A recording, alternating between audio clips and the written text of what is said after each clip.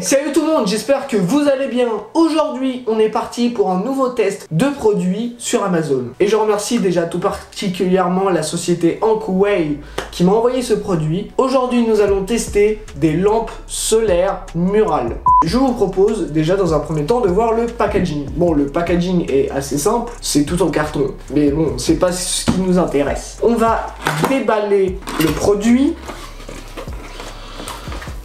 Donc regardez un petit peu l'intérieur qui est euh, franchement pas mal. Nous avons le manuel. Alors ça j'ai pas compris.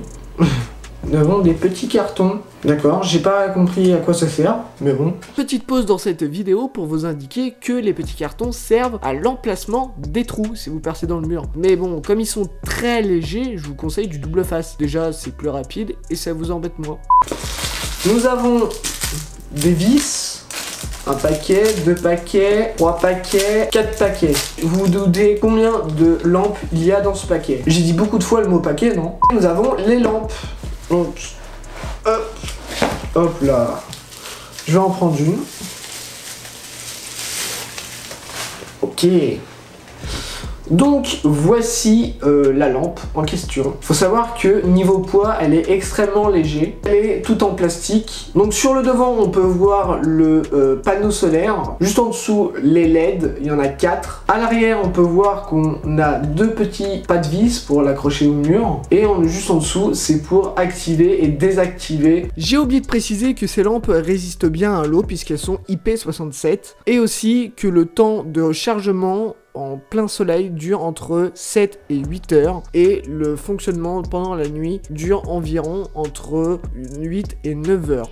Ce que je vous propose maintenant, c'est de voir le rendu la nuit tombée. Donc d'abord, je vais un petit peu les recharger. Je pense que leur batterie est très faible. Comme il fait un petit peu soleil dehors, ça tombe bien, ça va les recharger. Ce propose, c'est qu'on se retrouve la nuit tombée. Bon, on se retrouve un peu dans euh, l'obscurité. On est dans mon jardin. Donc là, je les ai mis euh, ici euh, sur l'herbe. Bon, je les ai pas encore accrochés. Vous pouvez voir un petit peu le, rendu. Voilà, si je me place un petit peu comme ça.